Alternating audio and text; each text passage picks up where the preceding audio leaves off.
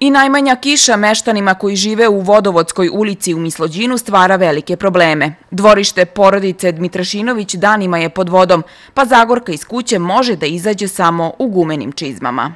Poplave, poplave ne može se živi. Voda nadolazi sa brda, to je sve puno. Nemam gde više, nemam gde sa decom. Voda bila je u ponedljak, sve još više bila. Pa se povukla, pa je od noćas došli i evo ne možda prestane.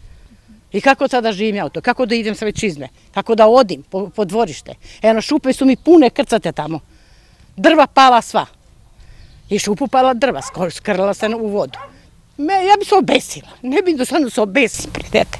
I u susednom dvorištu ista slika. Filipović stana živi sama, a s obzirom na to da je voda počela da ulazi u kuću, noći provodi u komšiluku.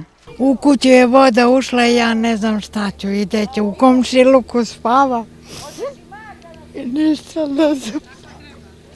Kroz isti scenario prolaze svi koji žive u ovoj ulici. Kažu da se voda sliva sa obližnjeg Mislođinskog brda i da prethodnih godina nije bilo tako čestih poplava. Ovo je treći put od 15. maja da su im dvorišta puna vode.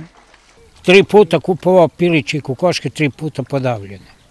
Meštani tvrde da bi jedino rešenje u njihovom slučaju mogao da bude prokopani kanal rešenje bi, ali niko se ovdje ne obraća, ovim su kako se niko ne obraća. Rešenje je da se očiste kanale. Evo sad je došao bagir da ovdje i oni su ga vratili, a njima ništa ne smeta. Ova strana da se očiste lepo. Ovo je sad ove treći put i četvrti, ovako svake godine bude. Svake godine? Svake godine, nema godine da nije. Samo zbog kanala i zbog toga.